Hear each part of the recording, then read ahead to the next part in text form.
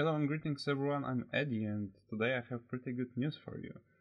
Uh, as you can see we have new UEFI version 0.4.1 and what's uh, changed here. As you can see we have fixed USB uh, in Windows for Polaris and Dipper. Okay, but there is one more important change and it's that.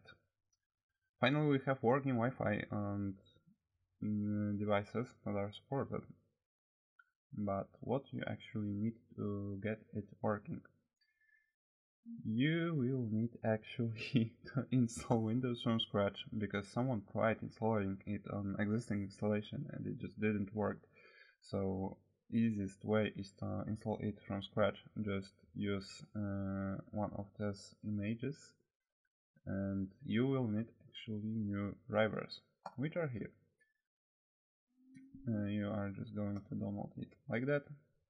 And after you download them and extract them you need to run uh, one of those scripts.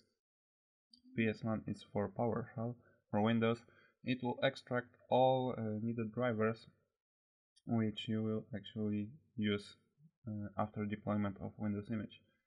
And how to actually install it in the short way if you actually followed my guide here you just uh, can use this and this command and uh, recovery mode in ADB shell it will format only Windows partition and uh, you should have still WinPE on your device. So after reboot and booting UEFI image, new UEFI image, should actually boot into WinPE where you can actually uh, actually actually where you can uh, just deploy new image with new drivers and everything should work just fine.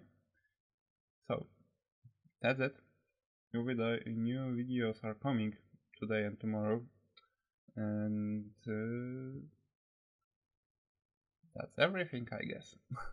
Leave a like leave a comment leave a subscribe and see you guys in the next one